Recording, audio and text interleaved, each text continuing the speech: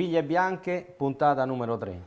In studio Giuseppe Apadula, Salvatore Di Martino. Grazie. Ci siamo lasciati alla puntata numero 2 che Giuseppe ricorre al Tribunale per i minorenni di Roma per cercare di vedere normalmente suo figlio nato nel febbraio del 2010 in che data ricorri al Tribunale per i minorenni? Io mh, mm, ricorro al Tribunale per i minorenni quasi subito dopo essere uscito di casa. Quindi intorno al 2013? Sì, fine 2012. Fine 2012. Fine 2012. E mentre poi la madre del bambino eh, fa un ricorso invece al Tribunale ordinario eh, l'udienza del Tribunale ordinario era... Un ricorso per che cosa? Il, un ricorso per, eh, ehm, eh, per richiedere l'affido esclusivo e, e, comunque già eh, su quel ricorso mh, eh, mi accusava di violenze domestiche. Allora, un attimo solo.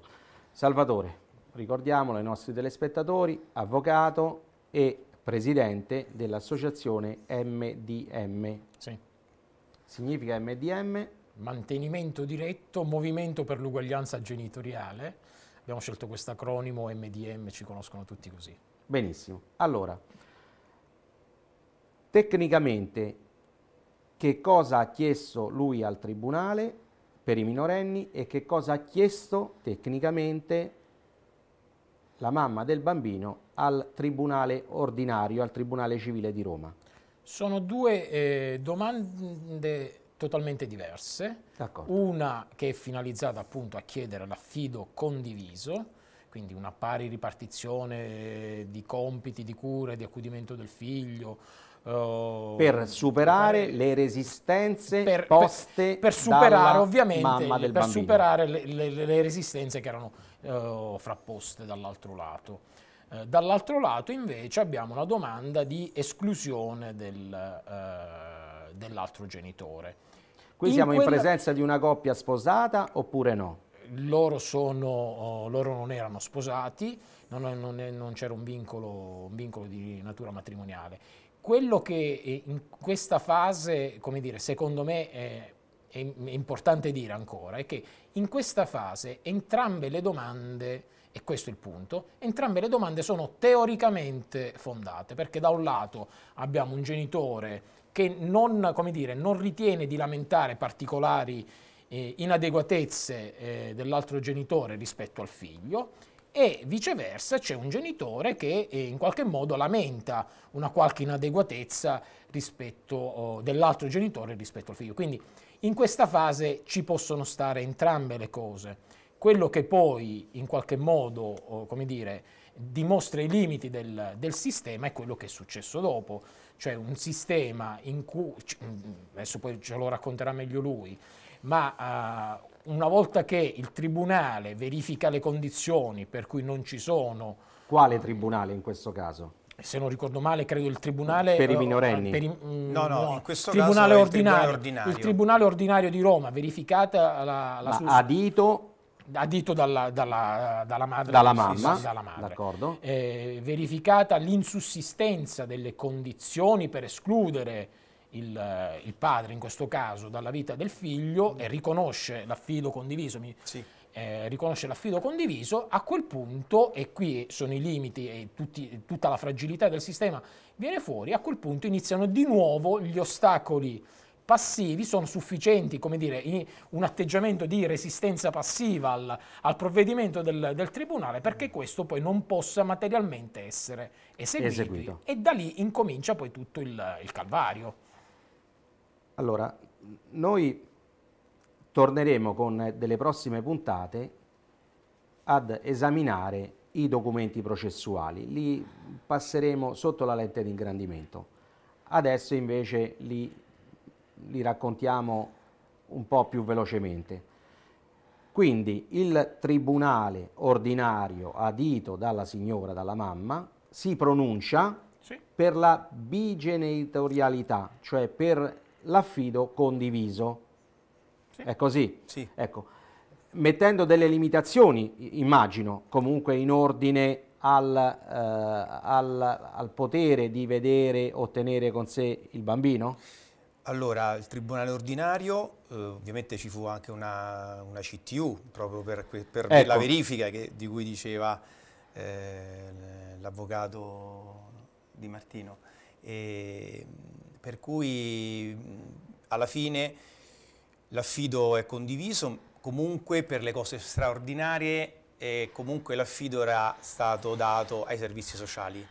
Cioè attualmente ancora il bambino è affidato ai servizi sociali per ciò che riguarda scuola, sport e salute e invece per le, le cose ordinarie è, è, rimasto a noi. E comunque eh, io avevo, eh, mi, era, mi, era, stato concesso le libere frequentazioni, ah, ecco quindi assolutamente... Senza limitazione di giorni di, o no, di orari? avevano dato il martedì e il giovedì ecco. classico, i fine settimana alterni, eh, il pernotto ovviamente nei fine settimana dal venerdì alla domenica e nel fine settimana che non eh, avesse avuto il bambino pernottava da me anche il giovedì. Diciamo quasi quasi un 50% insomma poi alla fine. No? Benissimo, Perché quindi il Tribunale 3, ecco. ordinario di Roma sì. all'esito della richiesta del ricorso sì. quindi presentato dalla signora si esprime dicendo guarda che il papà può vedere e tenere con sé il minore, quindi sì, il bambino, sì. Nato a febbraio del 2010, un minore che all'epoca, per quando si espresse il tribunale, aveva 5 anni probabilmente? Beh, nel 2014, aprile 2014, ah, quindi il bambino aveva 3 anni e mezzo. 3 anni e mezzo, quindi a 3 anni e mezzo si espresse in questo modo dicendo guarda che papà Giuseppe lo può tenere il martedì, il giovedì e fine settimane alternati.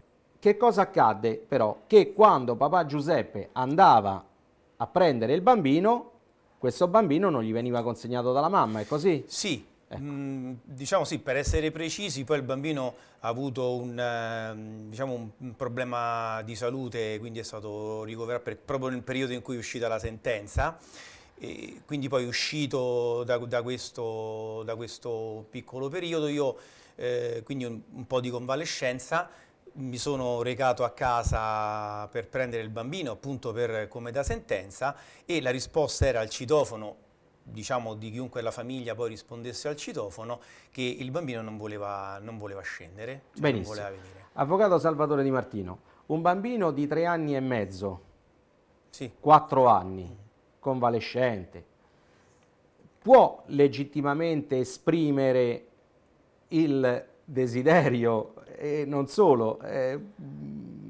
volontariamente decidere di non voler vedere il proprio papà?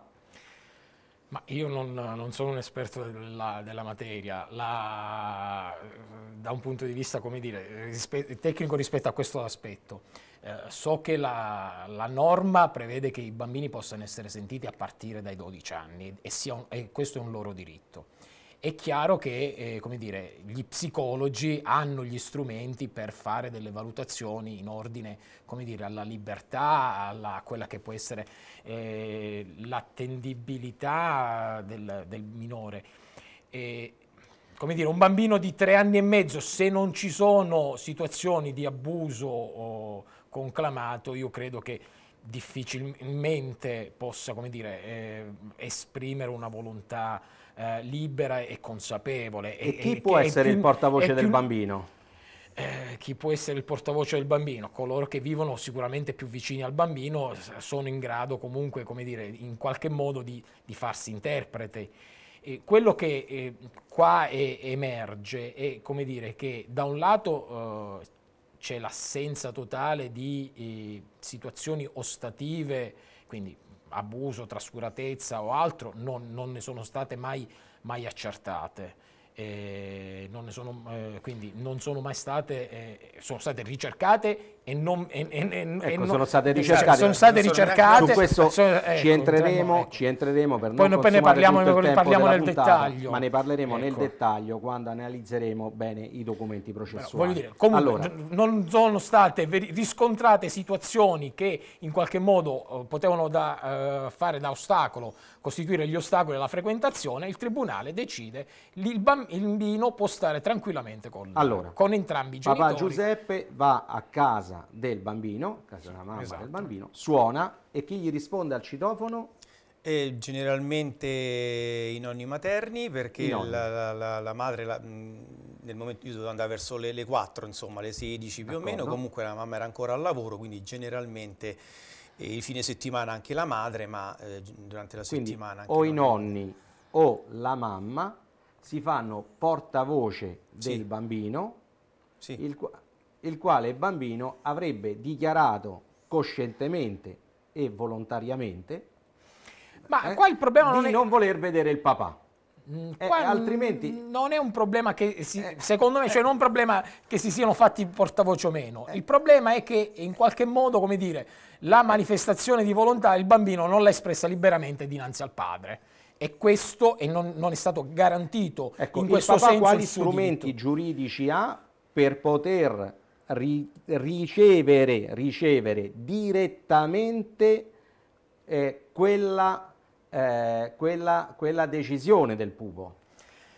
Ehm, Che tema-? Un tema molto, molto complicato eh, e, come, e come dicevo nella puntata precedente evidenzia tutta la fragilità del, del sistema. Eh, far rispettare con la forza, eseguire con la forza questi provvedimenti è molto complicato. Eh, per ovvie ragioni e io credo che mm, ma lo ha già detto prima, insomma, non, non sia mai stato vuol dire che lui con la avrebbe- forza pubblica avrebbe potuto eh, chiamare è successo, ci sono stati dei la casi polizia giudiziaria, la- avrebbe chied- potuto far vedere alla polizia l'esecuzione del giudiziaria provvedimento, il certo, decreto certo, certo. presidenziale, in questo caso non so se Sì. è un decreto o una sentenza, in questo sì, un'ordinanza, sì, sì. Eh, mostrarla agli succede- agenti di polizia succede. giudiziaria sul posto ed ottenere la consegna è- del È bambino. una, situazione, è una situazione che succede quotidianamente nell'ambito delle separazioni, ma anche in altri ambiti, anche ne- per quanto riguarda molte volte, lo abbiamo visto, oh, riguardo anche agli affidi extrafamiliari, eh, molte volte i bambini vengono prelevati dalla, eh, dagli assistenti sociali, ovviamente, da personale specializzato, accompagnato ovviamente dalla, dalla forza pubblica eh, con tutte le precauzioni al caso, quindi personale anche eh, senza la divisa. Ma non è questo il punto, il punto è eh, la fragilità di questo sistema, perché un sistema così congegnato è un sistema molto complicato, molto oneroso da mettere in campo e, e sarebbe invece più opportuno puntare, eh, rafforzare come dire, misure indirette di, eh, di rafforzamento dell'efficacia del- dei provvedimenti all'autorità giudiziaria, quali potrebbero essere per esempio le sanzioni, come è previsto, e che purtroppo anche qui vengono concesse molto, con molta difficoltà, con molta ritrosia da parte della, della magistratura. Giuseppe, il bambino frequentava l'asilo? Sì. Ecco, ehm, tu non avresti potuto prenderlo al termine del- dell'orario normale dell'asilo, cioè il martedì e il giovedì, al termine dell'asilo avresti potuto prenderlo tu. E infatti questo è successo dic- diciamo, durante, durante la CTU. Abbiamo detto che il primo periodo, ehm, comunque anche se andavo all'asilo, trovavo eh, o i nonni materni o la madre che mi impedivano di prendere il bambino in quei giorni stabiliti. Alt. Allora, tu sei in possesso di un documento che dice che il martedì e il giovedì, ancora valido se non, se non ho capito No, male, sono, mm, mm, quando se facciamo un po', sono cambiate un po' di cose. Va bene, ha eri un provvedimento possesso. che l'autorizzava. Sì, un provvedimento, All'epoca martedì era così. e giovedì. Tu il martedì vai a scuola, il martedì vai a All'asilo. scuola, all'asilo, vai a prendere il bambino e non riesci a prenderlo con te? No, no, me ne ha impedito e ovviamente Chi te lo ha impedito? eh, c'erano i nonni materni eh, molto spesso, Eh, diciamo. Ma in che modo te lo possono impedire? Cioè voglio dire, tu sei il papà, vai all'asilo, suoni per prendere il bambino. Ma c'erano già loro. Il- Quindi o si trattava di fare sempre storie e già purtroppo, e già purtroppo capitavano. il Ma problema tu è questo. andavi, in giorni, tu andavi in giorni in cui non ti era consentito? No, no. No. Il problema è Avvocato, questo. se lui fosse andato in giorni in cui non gli, non gli era consentito, che cosa sarebbe accaduto? Eh, sarebbe accaduto oh, che eh, legittimamente eh, si- eh, sarebbe stato possibile chiedere l'intervento della forza pubblica, così come avrebbe potuto far lui, ma il punto è questo. Lui a un certo punto si è trovato, lui come tantissimi altri genitori, si è trovato di fronte all'alternativa tra ricorrere all'uso della forza pubblica per far rispettare un provvedimento dell'autorità giudiziaria oppure a tutela del bene del bambino, della serenità del bambino, evitare fare un passo indietro. Uh, come la famosa madre della parabola di, eh, di Re Salomone, che di fronte all'alternativa tra vedere il figlio diviso a metà e, e, salvare il figlio ma rinunciare facendo un passo indietro, ha fatto lui. Eh, e lui ha di fronte, ripeto, a una prova di forza in qualche modo e eh, la tutela della serenità del figlio, lui ha preferito fare un passo indietro. Ed è una condizione frequente, moltissimi genitori. E l'atteggiamento oh, dell'educatrice qual è stata? O degli educatori della scuola? Parliamo quindi della scuola, della, della scuola materna. Beh, mm, l'atteggiamento è quello di non... Eh, di non eh, entrare troppo in queste dinamiche in realtà e volevo poi aggiungere una cosa a quello che ha detto adesso l'avvocato, è che io ho sempre avuto fiducia, ricordo che ancora erano i primi tempi, quindi io speravo sempre che la giustizia potesse risolvere il problema. Beh, quindi ma lo sta risolvendo, aspettare... sono passati neppure otto anni. Beh, eh, a questo punto sì, diciamo. Quindi è chiaro che... Era una battuta la mia. Sì. Un sorriso molto amaro. Che è chiaro che l'atteggiamento delle maestre sono quelli di eh, cercare di evitare di entrare anche per evitare di magari di eh, esasperare ancora di più il conflitto. Ma di fatto sei riuscito però qualche volta a prenderlo durante quel periodo, prima delle elementari oppure sì, no? Sì, allora io ho preso il bambino da solo e quindi già questo è indicativo perché mh, durante la CTU, perché la CTU a un certo punto ha dato delle regole per cui io andavo a prendere il bambino nei giorni consentiti, quindi andavo a prendere a scuola. A scuola? Sì, quindi, e il bambino stava con me il pomeriggio, poi lo riportavo a casa. Allora, la CTU, ricordiamolo, consulenza tecnica di ufficio sì. richiesta da chi? Dal Tribunale Ordinario. Dal Tribunale Ordinario. E la scuola rappresenta un luogo sicuro per poter andare a prendere i bambini, è molto comodo, perché quando poi non c'è la scuola, che succede? Per il papà? E questo è un problema. Molti... Che cosa è accaduto appunto quando è terminata la scuola rispetto Beh, alle frequentazioni che ha avuto lui ovviamente eh, all'epoca eh, era ancora piccolo quindi diciamo che eh, eh io l'ho preso a scuola ho detto il periodo della CTU insomma per, se non ricordo male eh, forse da, da maggio 2013 ad, ad aprile 2000, diciamo, mh, mm, beh no, forse un po' più oltre 2 maggio, diciamo per 7-8 mesi, fino a, a marzo 2014, diciamo così. Poi è uscita la sentenza del Tribunale Ordinario eh, e quindi proprio in quel periodo là per cui c'erano CTU anche perché poi sa, sotto CTU e, mm, e mh, mm, impedire di, di, vedere, di, andare a prendere il bambino sarebbe stato gravissimo ecco, insomma eravamo sotto... al di fuori della scuola che cosa è accaduto durante l'estate? Allora, durante l'estate... 2013 parliamo. Sì, esatto, estate 2013, siccome c'era sempre sotto la CTU, che è finita al novembre successivo, era un giorno io, un giorno la madre. Io andavo a prendere il bambino. A casa quindi? A casa. E non a casa e me lo portavano, sì, me lo portavano giù al portone, io andavo e, e il bambino, ma finita la CTU, ecco, finito questo periodo a marzo che il bambino ha avuto questo problema, da allora e quindi diciamo da aprile mh, eh, del 2014 quando andavo a citofonare il bambino non vuole eh, più eh, non vuole scendere non, eh, non, vuole venire. Parliamo di un bambino che all'epoca 2014 ha 4 anni. Sì 3 anni e mezzo tra i 3 anni e mezzo e 4 3 anni e mezzo 4 Dicevi Salvatore? Ma, eh, l'ho appena detto Giuseppe, finché c'è, eh, purtroppo capita eh, che finché ci sono i carabinieri in casa, e in questo caso molti genitori percepiscono la, eh, la consulenza tecnica d'ufficio come il carabiniere che vigila sul rispetto delle regole, le regole vengono rispettate. Il problema nasce nel momento in cui il carabiniere, quindi in questo caso il consulente tecnico d'ufficio, conclude il suo periodo di osservazione e, e allora poi ognuno si ritiene libero di eh, violare o di applicare i provvedimenti del tribunale così come ritiene più, più opportuno. Che cosa fa il consulente tecnico di ufficio a conclusione della sua attività di osservazione? Il consulente tecnico d'ufficio fa una valutazione per il giudice di quelle che sono le migliori condizioni di, eh, di allocazione del, del, minore e di frequentazione dei, di entrambi, dei genitori e individua insomma, dei, dei, momenti di frequentazione per, per entrambi, Tiene con, tenuto conto ovviamente dell'età, del, della distanza fra le abitazioni, eh, tenuto conto che, ma, di problematiche particolari che possono esistere anche in situazioni dire, specifiche. Quindi fa una valutazione o dovrebbe fare una valutazione per che il giudice. Al giudice. Che, sulla, sì, che consegna al giudice, dalla quale il giudice poi terrà conto nella, nella decisione, nell'adozione dei provvedimenti, del provvedimento finale con cui stabilisce tempi di frequentazione, modalità di mantenimento e tutto il, tutto il resto. D'accordo, allora siamo ad aprile del 2014. Sì.